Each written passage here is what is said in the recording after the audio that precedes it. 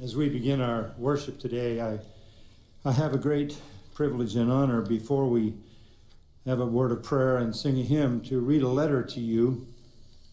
Uh, this morning, Grace Life Church up in Alberta, Canada, uh, is meeting somewhere. Uh, we don't know where. Uh, James Coates said at this point it's uh, not for the public to know amazing to have an underground church in Canada